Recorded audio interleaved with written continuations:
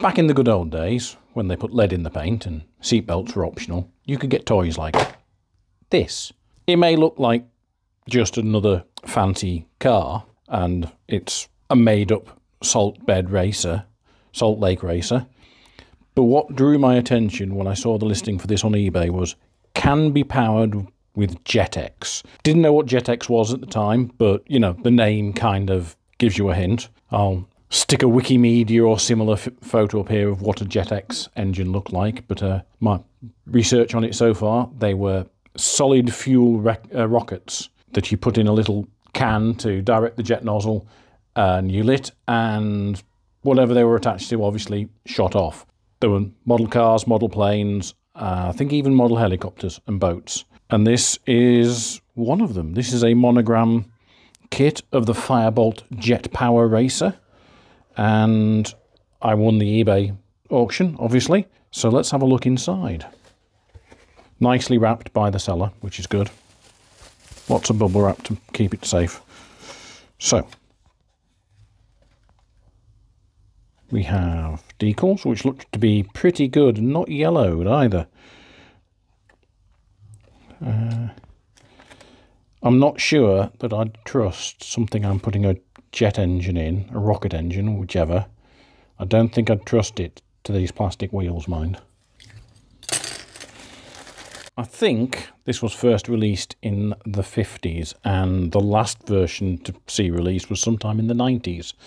And the rough guess on Scalemates for a scale was 129th, which is one of those oddball scales you used to get when they had a box size to fit the thing in and everything was uh, sized to, for that. So, steering wheel. So, it's not just an action model, it's got an interior and a canopy and whatever that is. I think that might be a ring. I think that might be something for holding the jet. So let's just I've emptied the box. Put the box to one side. So here are the instructions the Firebolt, a monogram design for a jet-powered race car. Actual cars of similar design have been built in England.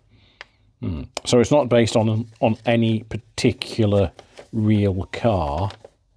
So this is the 1997 re-release. Don't know if they still expected you to put a, a rocket motor in it back then, but there we go. So CO2 cartridge or Jetex motor. So there are two different mount mounting brackets depending upon whether you're powering it with CO2 or with a Jetex thing. Maybe I can go out and uh, get one of those nitrous oxide bottles that all the kids are huffing and use that. I don't know. Operating your car, as suggested on the inside pages, is optional because the first time you use it, it will explode. And the instructions... Ah, so we've got how to build it. We've got the actual, you know, what you'd expect from a kit, a breakdown of how to build it, which is very simple looking. And then we have photo breakdown of how to actually operate it.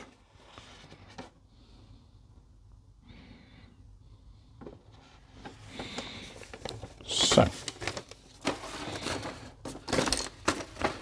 Mean, in my early teens, I did um, harvest the motors from fireworks, stick them in toy cars, build a ramp, and then shoot them into the neighbour's field. So this was built for people who wanted to uh, cut out some of the fun of chopping up the toy car and working out how you're doing it yourself. It is a very simple very, very simple kit. It goes together like so. There's a couple of, yeah, couple of holes you need, plugs and holes that you need to line up. There and there, and other ones on the front. The rivet detail and the panels on this actually not bad.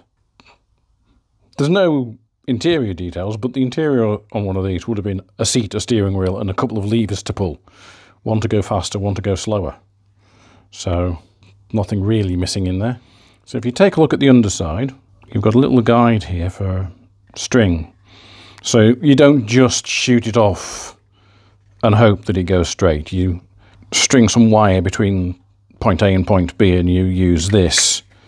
You use these guides to make sure that it doesn't go veering off and under someone's car and set fire to the neighbourhood.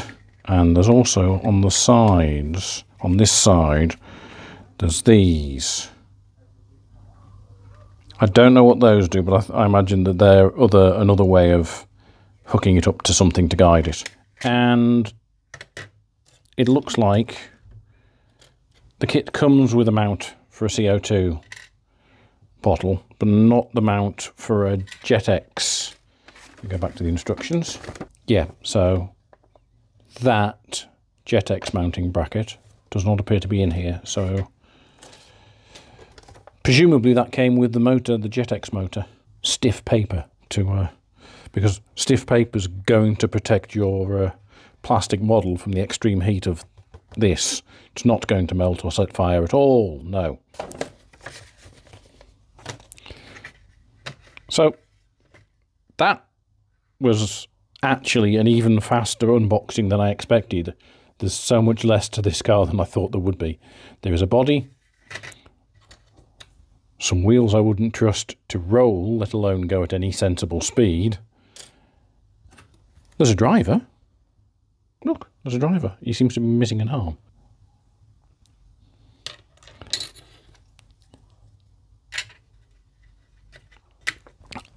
I don't think I'm going to put a motor in this.